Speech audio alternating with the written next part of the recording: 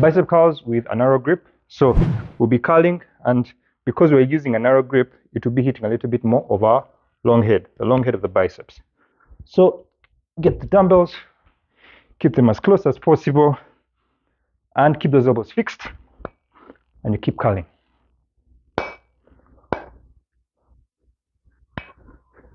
Don't slouch your back doing things like this, no. Keep your torso nice and tight, and curl. Narrow grip.